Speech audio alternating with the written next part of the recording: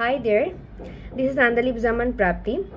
I am an applicant of uh, Shokti Konna Leadership Cohort Program 2023 and I am currently studying at the Department of Computer Science and Engineering and in Rajshahi University of Engineering and Technology. Today I'm going to talk about this program and um, one of the main questions um, that is where is the job opportunities for um, young women in green transition and how young women can prepare for it. Well, there uh, are several job opportunities in green transitions like um, uh, obviously we need uh, renewable energy sector uh, engineers in renewable energy sectors like solar energy wind energy biomass energy we require uh, engineers and technologists.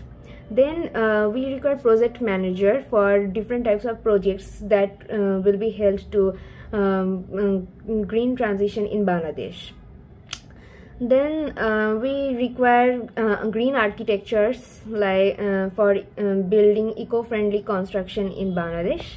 And finally designers uh, for eco energy efficient solutions.